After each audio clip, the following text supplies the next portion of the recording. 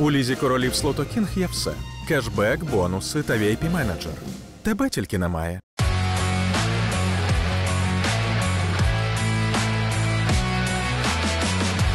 Мої вітання, друзі. Мене звати Яніна Соколова в ефірі Рандеву. Якщо ви на цьому каналі вперше, будь ласка, підпишіться на нього. Якщо вже підписані, дякую вам за довіру. Тут ми говоримо правду, якою б некомфортною вона не була. Це незалежна журналістика, незважаючи на те, що наш ефір виходить не тільки на моєму Ютубі, а на Ютубі п'ятого каналу. Ми на п'ятому каналі, бо це абсолютно вільна територія. На нас ніхто не впливає. Все, що ви бачите в ефірі, це виключно робота нашої команди і слова наших гостей. Сьогодні поруч зі мною генерал-майор в запасі, людина, яка у вас користується неабиякою довірою. Ви чимало запитань до неї е, запитали і записали. І у мене в телеграмі, до речі, підпишіться. Ось так він виглядає. І на Ютубі, Ютуб Яніна Соколова, Ютуб е, п'ятого каналу. Ось тут вони. Підпишіться, будь ласка, і маємо Фейсбук. Там теж можна ставити питання. Е, Будемо сьогодні говорити про залужного, про військо, про мобілізацію і про те, що в біса нині даруйте відбувається в офісі президента з огляду на останні новини. Е, Ви розумієте про що я. Пане генерале, мої вітання. Дякую, що сьогодні до нас прийшли. Доброго ранку, вітаю всіх. Е, У нас програма йде в 20-й годині вечора, тому Тоді ви доброго можете вечора. Можете сказати доброго вечора. Е, пане генерале, е, ну, по-перше, я рада, що ви вже до мене прийшли. а Ми, ми з вами не по скайп-зв'язку. Е, пан генерал ще трохи кульгає, але вже сьогодні прийшов, при тому, що дійти до нас доволі складно, тут сходинки. Е, Як ви себе зараз почуваєте? Готовий захищати свою країну, що я роблю періодично настільки, скільки можу. Е, Це фізично, а емоційно і ресурсно з огляду на те, що ви я дуже злий. Те, що зараз творить влада в країні. Це історія залужного, перш за все. Я вас правильно розумію? І не тільки залужного. І не тільки залужного, це якраз відношення влади до ситуації в країні, ситуації війна, народ, залужний та інші військові. Е, Давайте почнемо із залужного. Недозвільнення залужного тема номер один. Е, Цього тижня ви про неї говорили, ми про неї говорили. Е, Всі абсолютно видання українські на випередки намагалися надати якусь інформацію, яка по суті не була до кінця завершена сказаним. Чому кажемо недозвільнення? Тому що, головне про недозвільна, недозвільнення залужного з матеріалів The Times, The Economist, The Financial Times, я вам зараз спробую розтлумачити. Отже, всі ці три видання відокремлюють однакові причини розбіжності між президентом головнокомандувачем ЗСУ, зв'язку із чим Володимир Зеленський хоче відправити залужного відставку. Хоче це, коли рішення вже прийняте, але ще не підписане е, указом. Отже, е, в чому проблема? спитаєте ви. Вище ніж у Зеленського рейтинг підтримки залужного серед українців. Одна із головних причин невдалий контрнаступ України минулого року. Одна із причин критика ведення війни, яку залужний висловив у статті The Economist. The Times вдалося поговорити зі старшими офіцерами, які знайомі з подіями, які сталися в понеділок, коли залужного мали відправити відставку. Вони такі виклали хронологію е, дня. Зеленський викликав залужного до себе обговорити військову ситуацію. Це була перша зустріч е, більш ніж за півтора роки. Що відбувається без радників Володимира Зеленського? За економіст вдався підтвердити цю зустріч.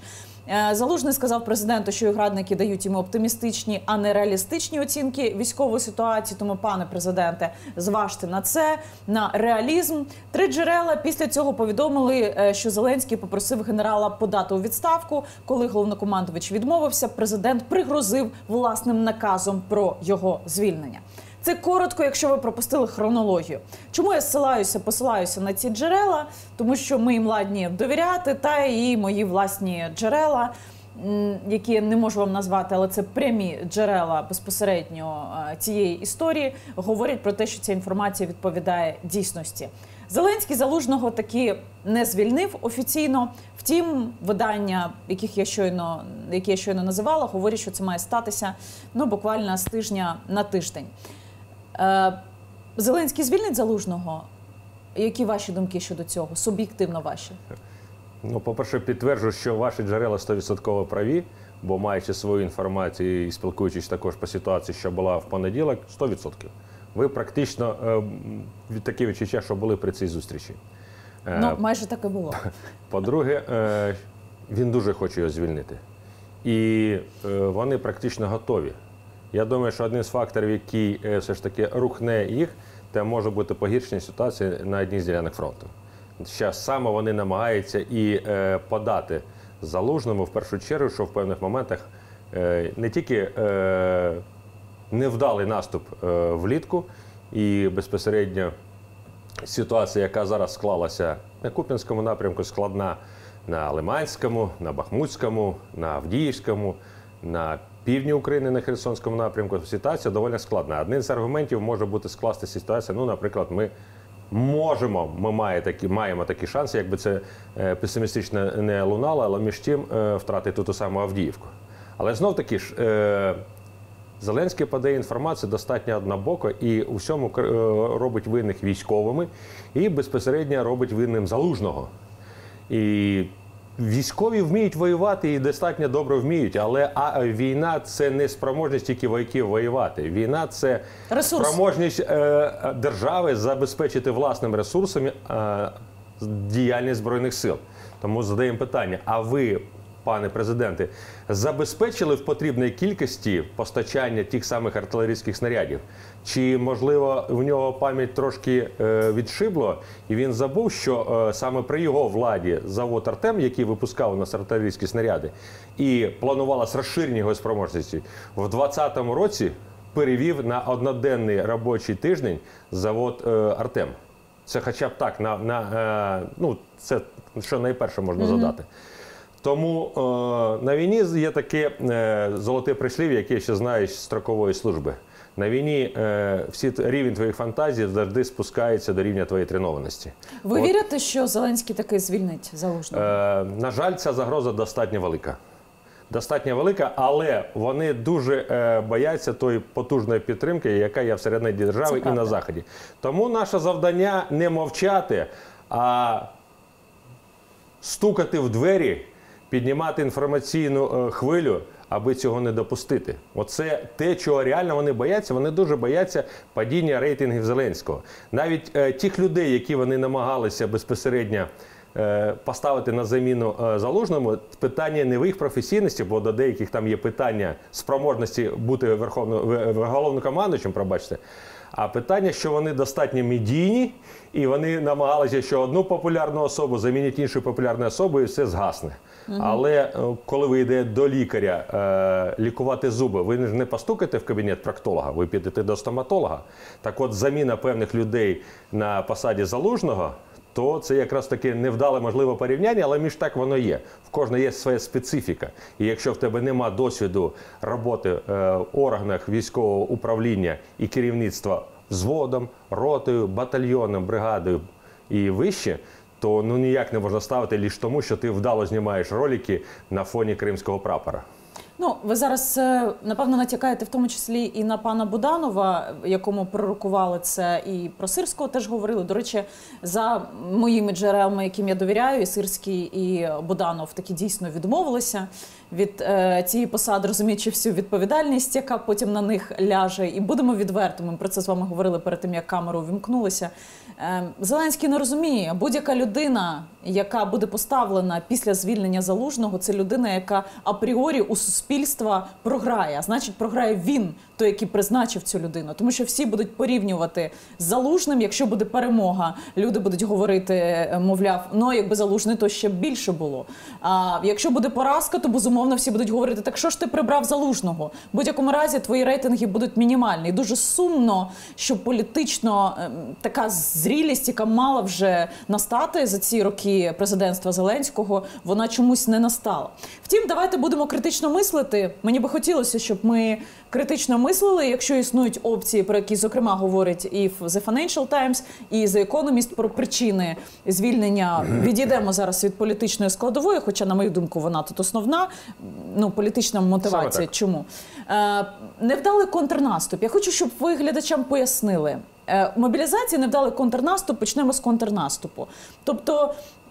Видання зазначає, що Зеленський незадоволений невдалим контрнаступом 2023 року і звинувачує в цьому залужного, адже кількість ресурсів, які в це були вкладені, і обіцянки, які були сказані ротом адміністрацією президента, офісом президента і зеленським західним партнерам, вони не справдилися. Хто винний на думку Зеленського залужний? Коли не стається, по-перше, чому не стався контрнаступ? Чи ви маєте свою оцінку цього процесу? Другий момент, коли стається невдала історія з контрнаступом, кого слід в цьому винити? Як це відбувається в історіях світової? е, Світової справи ведення війни з огляду на ваші знання з історії та із сьогодення теж. Ну, на жаль, е, ситуація полягає в тому, що е, урядом, керівництвом країни було сформовано такий інформаційний пул зеленої лакшини, який вони успішно накидали на вуха українців та й світової спільноти. І е, військові, зверніть увагу, завжди мовчали про своє бажання наступу і на яких ділянках, і для чого саме це робити. Е, у нас на е, наступі е, почали ще з е, осені е, 22 року піаритись будь-хто: прем'єр-міністри, президент, е, Голова розвідки, який вже в Криму був в всі липні. безпосередньо почали розповідати е, світовій спільноті, що от ми вже там наступаємо, ми вже там каву будемо пити і багато-багато. Е, Наступна помилка була в тому, що е, почало формування ще в 22-му році е, несприйняття ворога як серйозного супротивника. Оці навіть питання е, чмобік і все інше. Я не кажу, що треба їх було називати їх якось, але е, всі сприйняли, що ми воюємо з якоюсь слабенькою країною, там практично нема кому воювати. Вони не спроможні е, виготовляти продукцію. Навіть нам розповідали, що ракети вже закінчилися в осені 22-го року. Було таке. Було. таке. І е, спільнота з'їла цей такий е, планктон і свято повірила, що ми вже практично там однією ногою стоїмо в Криму. І саме це в першу чергу е, ну, руйнація стереотипів і бажань, знов таки ж, рівень твоїх фантазій завжди спуститься на рівень твоєї тренованості. Чи була натренована держава, аби е, мати успіх? Бо забезпечити в певній кількості потрібну е, частину збройних сил артилерійськими снарядами, технікою, авіацією. Ми дос- досягли панування в повітрі? Ні. Ми досягли переваги в артилерії? Ні. Е, Ми досягли переваги е, в особовому складі? Звичайно, ні. Навряд чи коли це ми досягнемо. Можливо, тільки на певних ділянках. Тому військові мовчали, і військові взагалі мовчали дещо як буде. А в нас завжди казали, найкоротший шлях на Крим, ми туди підемо, а звідти будемо наступати. В цей час росіяни впевнено, професійно, дуже професійно е, будували фортифікаційні споруди на південному напрямку російсько-українського фронту. Дуже професійно і в великій кількості. На жаль, е, це, е, мабуть, одне з основних е, таких було обставин, які не допустили. Ну і плюс навіть те, що нам давали наші західні партнери, в певних моментах це е, сподівання, які ми самі собі сформували.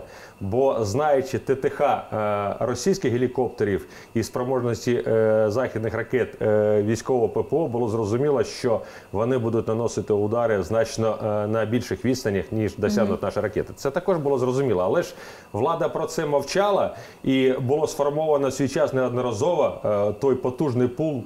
Е, Вундерваффе, так чудо зброї, яка безпосередньо вирішить ці питання війни. Зараз ми е, це казали про е, Хаймерси. Нам розповідали, що все рішить. Потім е, безпосередньо Шторм Шадоу це вирішить. Потім Леопарди Абрамси, що все буде супер. Потім Бредлі, зараз у нас вже F-16. F-16. Ну насправді нормально підготовлений військовий розуміє і скаже, що це ну просто самообман. І це якраз от і сталося, чому залужний безпосередньо став е, ну, Заручником. заручником ситуації. Він там мовчав. Він же ж е, не міг сказати е, світовій спільноті або безпосередньо, що друзі мої, давайте все ж таки менше трендіти, а більше робити.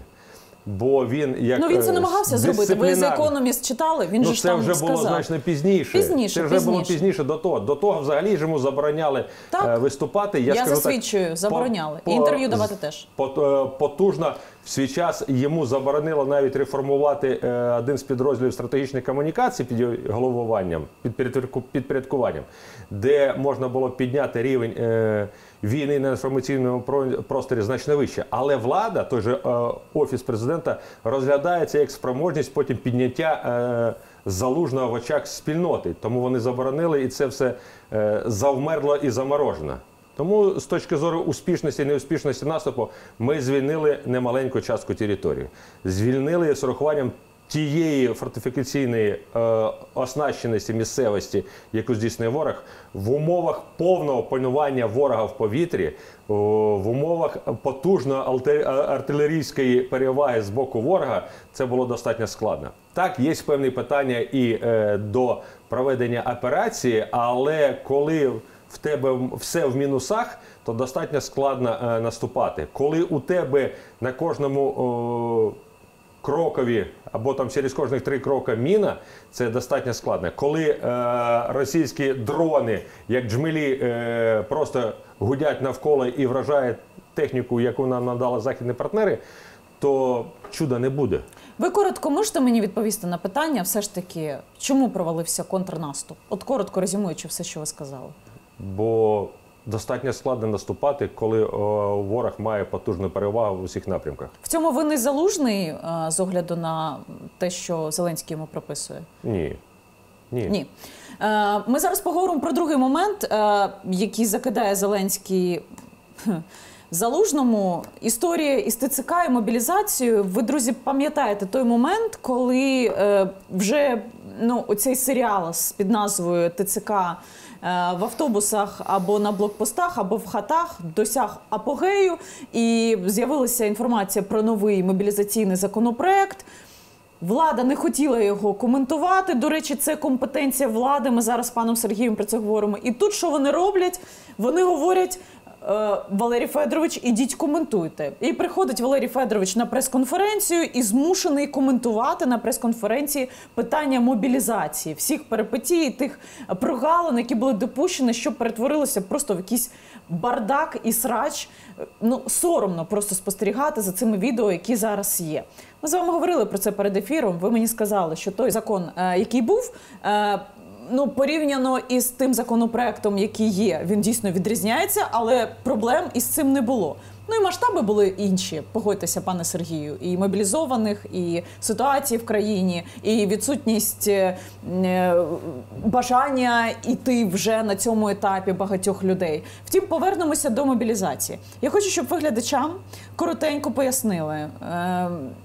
Мобілізація це квота, це відповідальність влади. Чому? От згідно законодавчих норм українських. Будь-який громадянин України може е, набрати, в кого є інтернет, е, закон про мобілізацію, мобілізаційну підготовку і е, прочитати цей закон. І я дуже прошу, реально прочитайте. Ви зрозумієте, наскільки влада дурить наразі український народ, намагаючись пропихнути, просунути цей новий законопроект. Бо існуючий закон більше ніж е, працездатний, і з 14 по літо 23 року він працював. Працював. І якщо ви кажете, що зараз ситуація по мобілізації складніша, ніж була в 2014 році, не скажу. У 2014 році у нас взагалі е, ми почали мобілізацію в березні 2014 з пустими складами. У нас взагалі нічого не було. Я пам'ятаю, коли ми відмобілізовували е, з оперативною групою е, високомобільних десантників 79-го бригаду, не було ані взуття, ані форми. Люди приходили і, і ми мусили активно працювати, шукати де що як. Вдячний генералу Павловському, який на той момент зміг організувати забезпечення збройних сил. Так було так, що приходили розміри 48-3 і е, 300 комплектів, або взуття 37 або 47. І ну вже за рахунок такої правильно організованої комунікації логістичним забезпеченням ми змогли обміняти і одягнути. Тому в 2014 році було значно складніше, і тоді ми реально не мали такого потужного досвіду, який ми мали вже безпосередньо наразі. Коли люди йшли е, в березні. 2014 року люди також були впевнені, що буде велика війна. А що стосується безпосередньо оцього закону, який існує, е, чому влада, по-перше, хоче його зняти? прибрати. Не тому, що, е, тому що там чітко прописані обов'язки влади. І якщо ми відкриваємо і починаємо читати в цьому законі, а що саме таке мобілізація, то ми зразу бачимо, що мобілізація це переведення на функціонування в умовах особливого періоду або воєнного часу органів державної влади, економіки України, підприємств України та військових частин в штатах військового часу. Бачите, військові десь там в, в кінці. Так, так. Якщо ми читаємо по обов'язках, то, мабуть, найбільше цих обов'язків там у президента України. Реально дуже багато. А які І вони саме? чітко От прописані. Там прописано, що саме президент визначає обсяги, терміни, етапи і мету проведення мобілізації. Причому мобілізації не людей. Ми ж прочитали, що таке мобілізація. В першу чергу економіки, в першу чергу підприємств, в першу чергу органів е, державної влади. Скажіть, ми перевели економіку на функціонування в воєнний час? Ні. Е, Ми поставили завданням е, завдання підприємствам України, мобілізаційне завдання, де відповідно цього закону кожне підприємство е, мусило випускати продукцію е, військового призначення для збройних сил України. Це є? Нема. Підприємства не мають ніякого завдання. Тому ми питаємо, а де ж снаряди, а де ж е, одяг, а де ж ще багато чого. Навіть приклад, ми е, закупаємо в Туреччині, закупав пан е, яйценосний Резніков, закупав величезну кількість форми, так? А, але при цьому, при цьому у нас сотні, десятки і сотні швейних е, підприємств України, що простаювало. Вони не мали ніякого завдання. Що це проблема? Ні, не проблема. Чому? Бо е, коли ти ж є всередині країни, це одна ціна, коли ти заводиш, то зовсім інша ціна. Тому навіть прості такі речі. Я вже не кажу і таких же багато прикладів по іншим речам. Якщо подивитися, що ми просимо у наших західних партнерів за їхні гроші, але це все входить в загальну суму, то багато речей безпосередньо можна е, мати всередині країни. В чому плюс е, вкладання е, ресурсів в власну економіку? Бо з кожної гривні, яку ми вкладаємо, навіть пошиття тої самої форми, 40 копійок мінімум повертається що з податками. Це мінімум.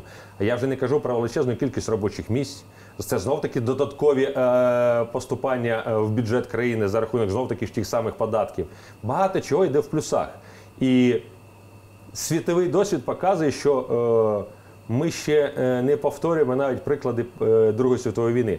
Сполучені Штати і Британія під час війни ввели достатньо жорсткі правила користування навіть в продуктах. Не було голоду, але не було непотрібних продуктів. Було визначена чітка потреба. Не було безпосередньо розбазарювання ресурсів. Навіть по бензину і по гумі для автомобільних колес в Сполучених Штатах було е, достатньо жорстко. Це слідкувалося до кінця 44-го року. А Британія взагалі відмовилась від карточної системи тільки в 54-му році. Тому вони рахували кожну копійку. Влада цього не робить. Економіка у нас все одно не запрацювала. Що стосується підприємств, ми вже казали, що ніяких завдань немає і безпосередньо не працюють. Хоча конструкторська інженерна думка в нашій країні просто чудова. І коли я чую, коли влада нам розповідає про виготовлення дронів е, в себе на дому, та у нас підприємство може це робити професійно і чітко. Але про це не треба що е, розповідати, не треба цього піаритись. Бо у нас прикладів, коли е, після фотосесії влади туди прилітали російські ракети, більше ніж достатньо. Почнемо від е, прикладів Яворівського полігону, де Арахамія з подалеком фотографувалась, потім загинули люди. Потім Том же самий Гусів фотографувався і давав е, репортаж на фоні е, Київського танкоремонтного заводу. Я вже не кажу останній просто кричущий факт. Е, 29 грудня минулого року, коли було нанесені удари по конструкторському бюро Луч та його суміжним підприємствам. Бо 26 грудня минулого року на офіційному сайті е, Міністерства фінансів, дочірньому сайті, було виставлено результати аудиту конструкторського бюро Луч, де було прописано всі договори, з ким, по яким за частинам до ракетних двигунів та ракет, яка кількість це взагалі ну просто. Ну, це навіть не зрада, це супердержавна зрада. І от з точки зору моєї, то мусили ще 29 грудня бути порушені кримінальні справи, і безпосередньо ті люди, які в цьому винні, були притягнуті до відповідальності. А що ми зараз маємо? Нічого не маємо. Кажуть, що можливо вже от позавчора чи вчора е, порушили. Ну дай Бог, якщо воно так, можливо. Але питання, чи доведено це буде до суда. Знов таки ж повертаєтесь до мобілізації з точки зору е, Зеленського. Функціонал відповідно цього закону президента великий. і він не хоче цим займатися і не хоче це робити. Знов таки ж. е, Ну чому? Тому що це Літо- полі- літо минулого втрата року- політичних балів. Да, літо минулого року, коли е, знаєте, такий був супер-піар на знятті воєнкомів, всіх, причому там так масово, облвоєнкомів, міських воєнкомів. Ну, по-перше, е, вони б так своїх би безпосередньо знімали з посад. Ми он, задаю питання, а де керівництво той самої Запорізької області, яке крало ешелонами? Нема. А де Ки- Кирил Тимошенко? Чомусь він там не е, з автоматом в першої, в першої траншеї. Також не бачу. І таких прикладів багато. Так от, е, по воєнкомах ви зняли людей, не пред'явивши їм безпосередньо ніяких обвинувачень. Зняли людей, які цим займалися професійно. Якщо вони десь і порушували закон, то треба було підходити що конкретно, Ну індивідуально чому по порушенню. одеський, одеський той, Один. який. Ну Один. він їх їх чимало, пане Ну, Сергію. е. Ну тут е, дивіться, я, я знаю вашу позицію щодо цього. І я читала позицію Валерія Федоровича, але щодо воєнкомів, у нас в країні просто існує така річ. Ми е, робимо загально історію під назвою Всіх звільняємо і не розбираємось насправді, хто є професійним, а хто ні. Е, я чітко знаю, що в Київській області існують кілька воєнкомів, які за гроші е, робили білі квитки. Вони є, ну вони є. Слухайте, ну. Глядачі теж підтвердять, що вони є і в Я ж не регіонів. захищаю. Але треба було розібратися. І безпосередньо карати ті, хто брали. Безумовно, Бо куди безумовно. тоді дивилася е, Національна поліція, військова контррозвідка, Служба безпеки України, е, ДБР. Ну, так? Служба безпеки України нам розказала, що війни не буде, і взагалі перед цим призначила е, керівників тих областей південних, які впустили росіян, бо були агентами росіян. Тому що тут говорити про службу безпеки. Е, пане Сергію, я зараз коротенько глядачам е, поясню про цей мобілізаційний законопроект. Кілька пунктів. Друзі, ну раптом прогавили. Маєте знати просто, що там в положеннях. Отже, основні положення нового законопроекту зараз дасте оцінку. Призовний вік в Україні знижується до 25 років. Скасування строкової служби замість неї базова військова підготовка, мобілізація для добровольців дає два місяці на вирішення своїх особистих питань і проблем перед відправкою на службу. Від призову Е, це, до речі, зміна порівняно із тим, що гуляв в інтернеті законопроектом. е, Звільняють всі групи людей з інвалідністю від мобілізації. Виключена норма захисту від призову для тих, хто мають дружину чоловіка чи батьків із числа осіб з інвалідністю першої чи другої групи за умови, що такі особи не мають інших працездатних осіб. Е, Арешт на кошти і цінності в банку, обмеження на водіння авто через суд. Е, Повістки можуть бути відправлені призовникам. Ще одне нововведення військовозобов'язаним резервістам в електронний кабінет. Це новинка. І мобілізація для чоловіків за кордоном, будь-які консульські дії в закордонних дипломатичних установах для чоловіків від 18 до 60 років, які є призовниками, військовозобов'язаними або резервістами, будуть здійснюватися тільки при наявності у них військово-облікових документів. Інакше зась. Я тут сказала пункт, вас, напевно, він зачепив, не пояснила. З приводу арешт на кошти і цінності в банку, обмеження на водіння авто через суд. Це якщо буде неявка після вручення повістки протягом 10 діб у військкомат. Почнуться відповідні дії, і людина просто втратить, що вона є, бо воно буде заморожене до судових дій. Розказала вам про цей законопроект. Як він вам Е, подобається? Фантазія гарна. Побачив реалізацію. Я вам задам зустрічне питання. Пам'ятаєте, в грудні місяці за рахунок хакерської атаки е, лягла мережа Київстар? Так, так, А тепер дивимось. Ми переходимо на електронне е, повідомлення всіх призовників Збройних сил України. Росіяни е, кладуть Київстар, Водафон, Лайф. Яким чином е, електронна мережа запрацює? Це ж як, який підігриш безпосередньо, коли ми опрацюємо тільки один варіант, тільки в електронному стані. Ми ж пам'ятаємо той колапс, і то за рахунок е, безпосередньо інших е, телефонних компаній якось викрутились. Не факт, що вони не зможуть зробити це ще і ще і ще. Тому безпосередньо все одно дублюючі варіанти мусять бути. Це перше. Друге, е, що стосується е, до військової підготовки, ну я про це вже е, розповідаю не один рік, і ще в 2019 році указом президента було введено програму «5 кроків. І якраз вона передбачала ці речі робити. Але сама влада зелена заморозила цю програму. Ми могли це ще робити з осені 19-го, але влада не захотіла. А зараз вона просто займається безпосередньо е, викраденням чужих думок. Їх би крали без питань, якби вони змогли реалізувати. Якщо вони це не зробили протягом останніх двох років, то я не впевнений, що вони можуть це зробити і далі. Бо до всіх речей треба відноситись професійно. А коли люди не розуміють, е, як виконувати свої функціональні обов'язки, коли е, люди не читають існуючі закони, їх не виконують, ви можете ще написати, ну не ви безпосередньо, е, написати ще 100 законів. Якщо не виконуєте існуючі, то і наступний не факт, що будуть виконуватися. Чи даватиме захід зброю і надалі в Україні дефіцит боєприпасів? Рустем Умеров, міністр оборони, повідомив е, про критичну просто нестачу е, снарядів. Е, Це було у четвер, і сказав, що країнам ЄС треба рахуватися із цим з огляду на їхні обіцянки надавати нам ці снаряди. Про це нараз говорив і Валерій Залужний, і серед військових існує така теза: економ снаряди, економ снаряди. Ми про це часто говоримо. А Україна не має можливості їх виробляти. Розкажіть мені, будь ласка. А що, а що потім сталося? Знаєте, була ситуація, коли е, в квітні місяці 22-го року я зустрічався з Валерієм Федоровичем, і ми обговорили питання повторення ефекту Шпеєра, коли Що це за е, ефект? підприємства, е, промислові підприємства Німеччини під час Другої світової війни були е, розтягнуті по території Німеччини і потужні бомбардування безпосередньо е, союзницької авіації не привели до того ефекту, бо німці в 42-му, 43-му, 44 роках потужно нарощували спроможність виробляти військову продукцію. І е, був приклад безпосередньо по е, заводу Артема. е, Де було запропоновано перенести безпосередньо е, виробництво снарядів, достатньо таке потужне, класне місце. І е, він каже: Окей, якраз ми це можемо обговорити завтра з Гусєвим е, на ранковій зустрічі. Прохо- Ранок проходить, я ж чекаю якоїсь інформації. В обід прилітає дві ракети е, на Артем. Я реально холодний е, від гніву і здивування, дзвоню йому, говорю, як так? А хто говорю, ще там був? Він каже: ну було ще декілька його заступників. Я говорю, там говорю, серед тих його і заступників мінімум один е, шпигун. Розумієте, наскільки швидко зливалася інформація? Це тільки один приклад.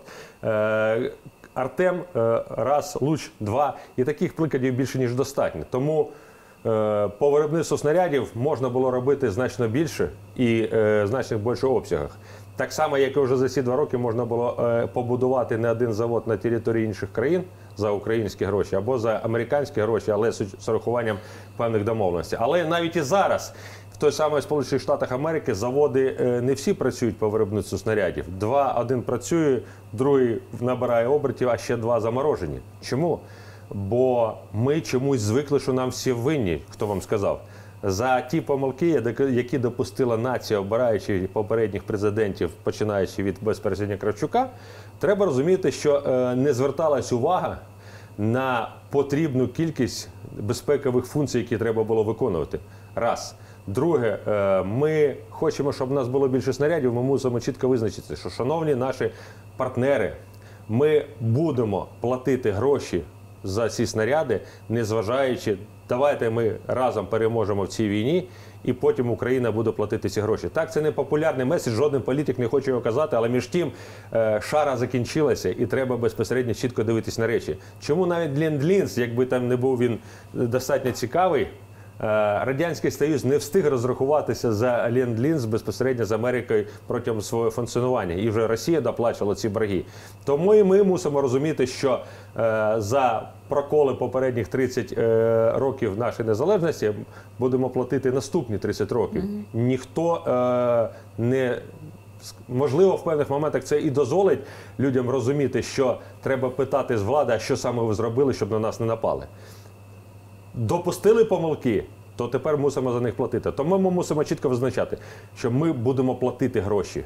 Так, це гра вдовго, але е, капіталізм е, система така, яка не хоче прибутків зразу і не хоче суперприбутків. Це тільки наші псевдокапіталісти хочуть зразу 300% прибутку і щоб завтра був результат.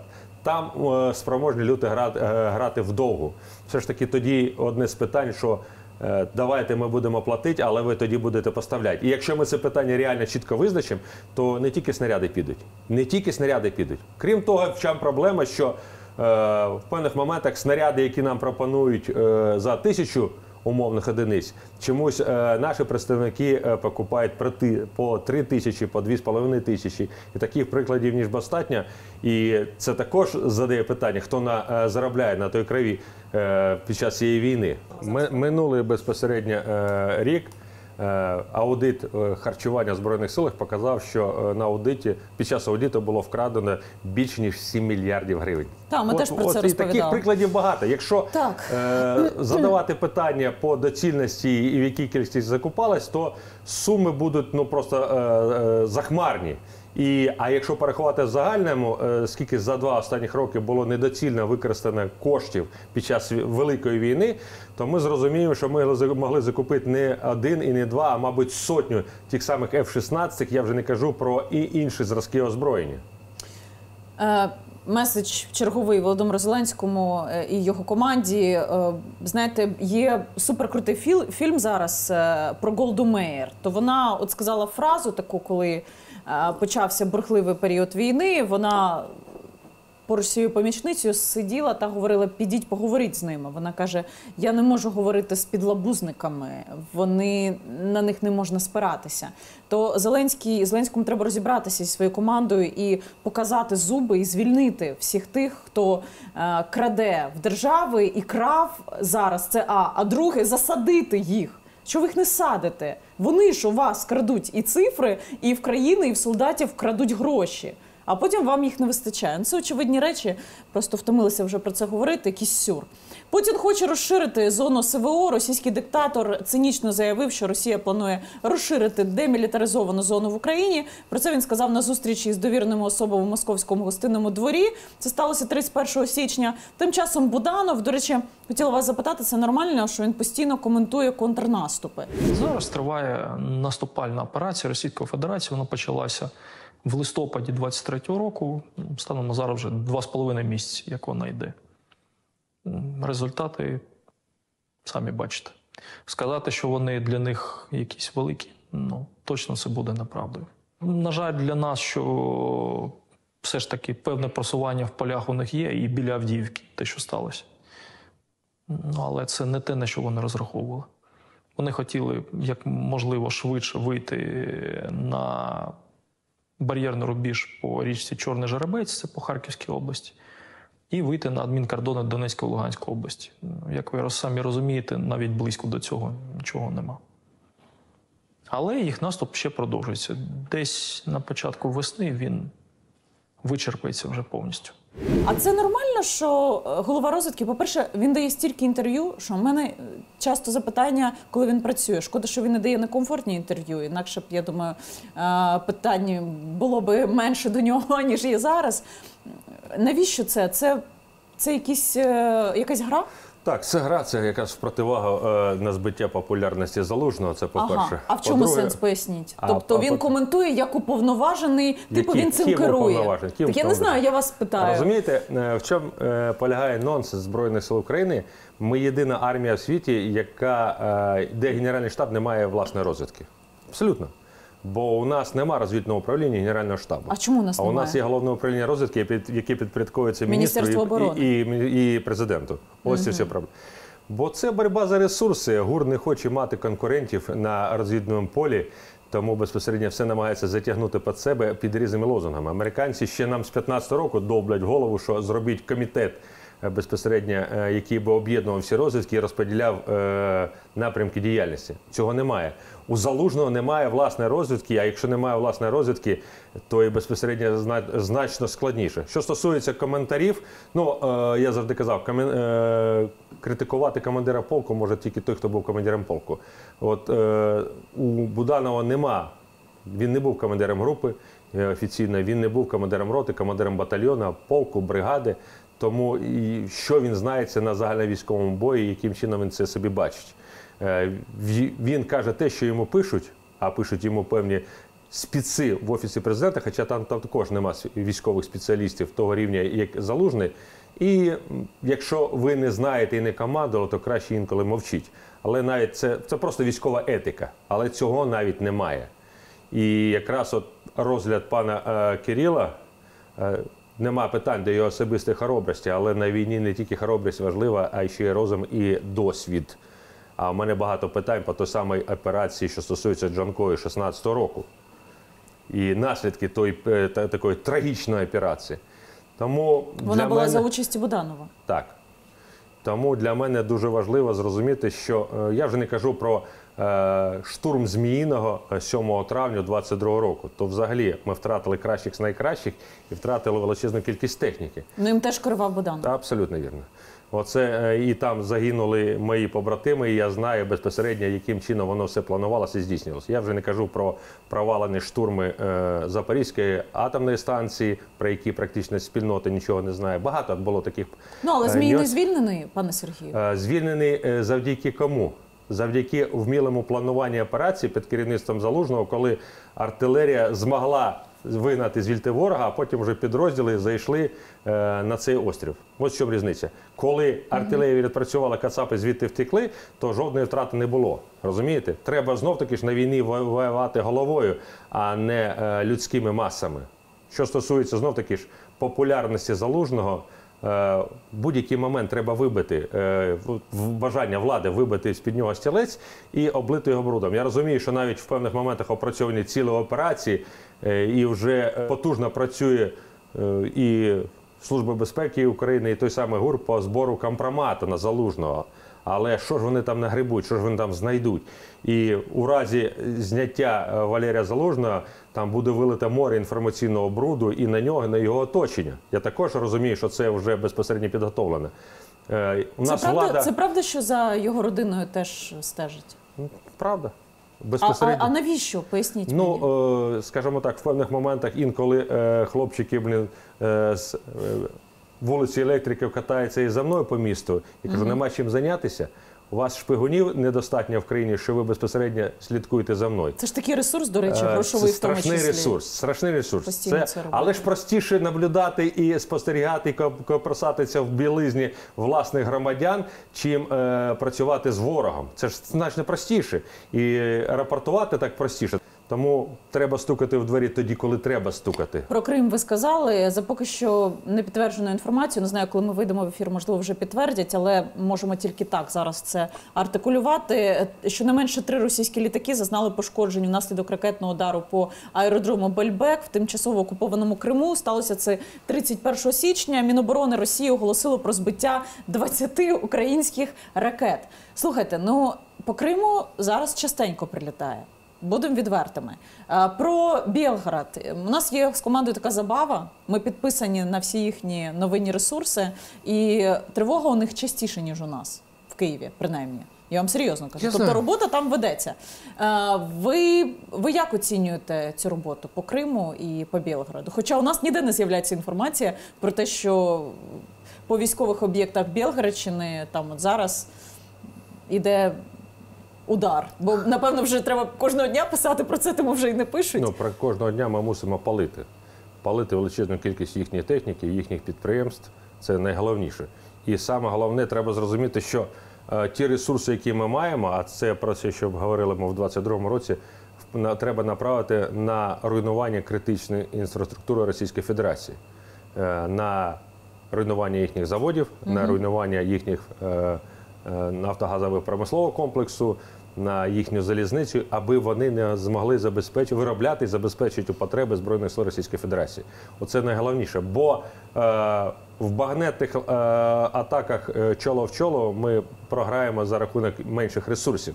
Наше завдання знищувати їхній тил і знищувати їх війська і сили е, в їхньому тилу ще до підходу до переднього краю. Тоді у нас і результати будуть кращими, і ефективність застосування, і економічно в тому числі буде значно вище. Тому більше ракет, більше дронів, але ж також треба розуміти, що ворог також е, робить висновки з кожного нашого льо- нальоту, змінює свою систему протиповітряної оборони, змінює с, і поту, посилює спроможності е, комплексів радіоелектронної бо- боротьби Російської Федерації. Але між тим, це е, якраз мабуть найбільш ефективна е, боротьба, яку ми можемо робити. Треба руйнувати тил ворога. Оце на найбільше завдання. І якраз це завдання в першу чергу і для головного управління розвідки, і для сил спеціальних операцій, і для служби зовнішньої розвідки. Ось чим треба займатися. Але про це не треба говорити взагалі в ефірі і не знімати ніякі ролики. Як Ви маєте, ви маєте собі розуміти, що коли в ефір випускає офіс президента когось із наближених до себе осіб, то коли людина це говорить в ефірі, то вони наділяють відповідальністю за переможний характер. А Богданов, до речі, ви абсолютно праві. Він дуже це переконливо робить. Тобто, навіть якщо в в Криму нічого не сталося, то в принципі образи у суспільства великої на нього немає. Ну не сталося це війна. А коли не стався контрнаступ, то вони це артикулюють часто в багатьох засобах масової інформації і навіть надсилають якихось е, пришелепкуватих. Даруйте, що я це кажу. Це моя оціночна думка е, для Нацради зараз. Там Мар'ян Безуглих, які е, просто присвятили свою сторінку у Фейсбуці залужному і його команді. Причому просто лютий треш. І ніхто її не зупиняє при цьому. Да? Хоча це народна депутатка і членкиня комітету з питання безпеки і оборони. Ну тобто, чи це демократія? Ні, це не демократія. Ні, це сп- спрямована інформаційна психологічна операція, направлена проти керівництва збройних сил України. Не більше, не менше. Називається так: на чию користь робіть кожні висновки самі. Ну в Росії був Жириновський для того, щоб Так, промацати це тут лакмусовий папірець, який перевіряє реакцію суспільства. До того був е, пан Арестович, який там е, бовкав щось там в ефір. Е, одні плескали, інші ридали від захвату, а вони безпосередньо робили зрізи е, реакції суспільства на певні речі. Зараз Олексій відпочиває в Сполучених Штатах, а е, якраз пані Мар'яна відпрацьовує е, якраз за нього, мабуть, такий потужний е, тандем. Хоча я скажу так, що вона достатньо успішна і слух'яна, що стосується подачі певних меседжів по інтернет-ресурсам. І достатньо часто видно, коли пише вона, коли пишуть за неї. Бо навіть е, стиль викладання інформації зовсім інший. Друзі, зараз заключна наша частина. Це бліц запитання. Ваші питання. Ми завжди долучаємо глядачів до нашого етеру. Хоча я посередник між вами і владою, між вами і гостями. Але мені б хочеться, мені хочеться, щоб ви теж були долучені до ефіру. Тому підпишіться на YouTube канал, на якому ви зараз дивитесь цей етер. І в коментарях можете на телеграм-каналі Соколова так само ставити питання. Так, є запитання від Ан- Андріана Іванч. Іванечко, Е, значить, Андріан питає, чому, на вашу думку, бригаді Азов не дають сучасну техніку, як, наприклад, дали 47-й бригаді Магура? Це питання, ну не буду зараз називати людину, але я чула напередодні від одного із командирів підрозділів однієї дуже відомої бригади. Гарне питання, але вже розумієте, що е, в певних моментах певні підрозділи е, в армії е, сприймаються політичним керівництвом країни достатньо насторожено. І я пам'ятаю, е, коли навіть під час таких вже активних боїв під Києвом, це кінець лютого, 22 початок березня, вирішилось питання по застосуванню хлопців Азова. Вони вже були сформовані як підрозділ. Навіть я їздив, перевіряв їхню готовність, незважаючи ні на що. І тоді якраз там в офісі президента думали, що, як і чому. Тому нічого не, не змінилося. Я скажу, не тільки одна 47 бригада отримала е, потужну техніку. І, на жаль, е, в певних моментах я приймав участь і в підготовці одного з підрозділів 47-ї бригади. Там багато було моїх побратимів. І, до речі, вони понесли найменше втрат і в техніці, і в людях, бо е, е, правда. слухали досвідчених і робили все правильно. Я вдячний їм за це. І питання, поки будуть сприймати людей е, по е, як там, лояльності, а не по професійності, такі речі будуть. А, Ми сьогодні, до речі, от саме про це і говорили. Так, є запитання доволі об'ємне від Олександра. Олександре, з вашого дозволу, у вас просто аж шість запитань. Я одне виберу. Е, Олександр пише: я працюю зараз в Донецькій області. Там тільки імітують роботу та побудову захисних споруд. Готується здача по кордону Донецької області або варіант умовна лінія Ізюм, Павлоград, Запоріжжя. Це говорять військові командири із різних підрозділів. Справи на фронті катастрофічні. Все тримається на простій математиці. Тисячі чоловік мають померти, були пораненими, щоб лінія фронту трималась. Так ми живемо щодня.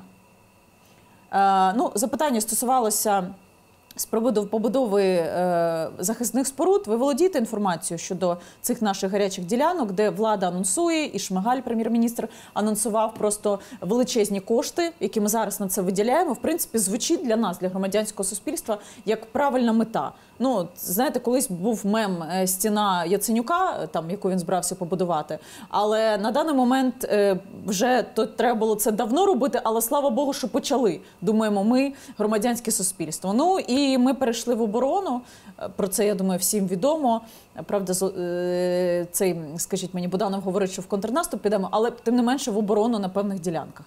Тобто зараз будуються реально фортифікаційні споруди. Будується, е, але питання ж не в процесі, питання в якості. Я про якість часові. говорю. Я тільки про якість а я кажу. кажу про ще про якість. І процеси йдуть, і як вони будуть закінчені, це одне. По-друге, про будівництво цієї оборони також з літа 22-го року я і певні спеціалісти також про це говорили.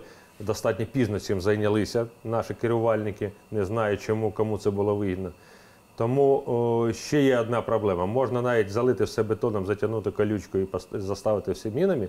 Але якщо не буде навчених людей, які прикриють підход ворога до цих е, фортифікаційних споруд, то ворог їх все одно е, розмінує, захоплять. Тому питання стає значно ширше. Економіка, навчений е, людський ресурс потужний, мотивований, і фортифікаційне обладнання місцевості це три основні фактори нашого успіху в цій війні. Е, Я прошу, щоб ви коротенько відповідали, бо питань чимало. Е, Ігор Капустяк, чи вигідно Зеленському випускати Романа Червінського? Червінського не випустять, на жаль, в даній ситуації вони Причина? будуть. А це е, політичне переслідування і помста е, за правду, яку розповів Роман. І вони знайшли привід і висосали його з пальця, арештували його. Е, Пане генерале, е, дуже ми ж некомфортно теж обговорюємо, яким би воно не було. Тут дуже багато запитань. Можливо, хтось не в курсі. Е, От, наприклад, Олексій Ільченко, справжні генерали по рандеву не ходять, тим паче під час війни. Е, Родомир Степовий, е, Степной е, в країні два роки війна, не рахуючи вісім років, де зараз воює генерал, і чому генерал не на війні? Ну поясніть, може, люди не Ну, можливо, вони не в курсі. Е, у них там на зелених каналах не розповсюджують інформацію, що саме якраз відповідно е, наказу пана Зеленського е, мене звільнили е, в березні е, 22-го і заборонили мене призивати. Потім в березні 23-го е, все ж таки повістку я отримав, прийшов і знов відмили цю повістку. Я готовий в будь-який момент стати в стрій і захищати власну країну. Наразі я допомагаю багатьом підрозділам, що стосується підготовки і забезпечення цих підрозділів. Ну і плюс е, підказую, намагаюсь підказувати владі, яким чином е, просуватися до нашої перемоги. А яким чином ви намагаєтесь підказувати? Ну от якраз е, сьогодні навіть спілкуючись, ми ж не просто е, Ні, ми не критикуємо, просто. ми якраз Да. підказуємо, е, показуємо шляхи вирішення цих проблем і утримуємо владу е, від цих помилок, які потім можуть бути допущені цією владою. Питають чимало в різних формулюваннях. Якщо залужного таки звільнять, а вірогідність, е, як кажуть джерела, дуже сильно висока. Кого ви бачите на його місці? Залужного. Ну, якщо залужного звільнять, Залужного. Тільки так. більше нікого не бачите. Е, з того пулу, який е, розглядає офіс президента, ні. А поза офісом. Ну, поза офісом, е, тих, е, хто б могли на рівні працювати в свій час, той же самий е, Муженка активно допомагав залужному керувати на початку Великої війни. Потім знов таки з політичних подобань його прибрали з е, оточення того самого залужного. Тому питання не в їхній популярності, питання в їхній спроможності керувати процесом. Але всі бажання військових завжди будуть спиратися на спроможність політиків забезпечити потреби збройних сил. Тут замкнуте коло. Будь-яка людина, яка прийде е, на місце залужного, зіткнеться з цим самим же з цими самими проблемами, яким зітк- е, щоденно стикається залужний, в тому числі, що залужний не має спроможності призначати командирів військових частин без погодження офісу президента. Це де сидить там е, майор запасу Машевець, розказує, як безпосередньо кому як воювати, і розглядає, розглядає людей по професійності. е, Чи розглядає людей по відданості, навіть призначення останні по силам спеціальних операцій, де поставили дилетантів в погонів керувати блін, вовками, це просто смішно. Тому незалежності, хто б не прийшов на місце залужного, проблеми від того не щезнуть, коли політичне керівництво країни не займається економікою, не займається підготовкою міліційного ресурсу, не займається фортифікаційним е, обладнанням місцевості. Ми зараз е, те, що ви зараз кажете, покажемо людям, е, і я впевнена, Я впевнена, бо ми випускаємо матеріали, і на наступний день я бачу реакцію офісу президента. Знаю, що і президент час від часу е, критичне дивиться з наших етерів. Якби на моєму місці зараз сидів Зеленський і вирішувалось питання, би сам на сам би ви сиділи з ним, вирішувалося би питання відставки залужного. Що би ви йому сказали? От є камера ось сюди, можна це Пане артикулювати. президент, зупиніться. Дайте вовкам надійно захищати власну зграю. Не намагайтесь посадити їх на цепа. Амінь. Слава Україні! Героям слава. Дякую, пане генерале, що ви сьогодні до мене прийшли. Я була вас дуже рада бачити. Дякую вам. Е, Це був генерал Кривонос. Я дякую, що ви слухали, дивилися і довіряли. Підпишіться на канал, на якому ви щойно побачили це відео. Тут ми говоримо правду, якою б некомфортною вона не була. Мене звати Яніна Соколова. Напишіть в коментарях, що думаєте щодо нашого етеру, і за можливості поширте, якщо вважаєте це доцільним, його на ваших ресурсах. Ну і підтримка генералу Залужному, підтримка війську. Це, напевно, ті люди, яким я і моя команда точно довіряємо. Акцентую, це не політика, це військо, від якого залежить наше життя. Сподіваюсь, ви, президент Зеленський, ухвалите правильне рішення в інтересах не вас, а всієї країни. Хоча, зрештою, ви ж теж громадяни нашої країни. Будьте справжніми. До зустрічі наступного тижня.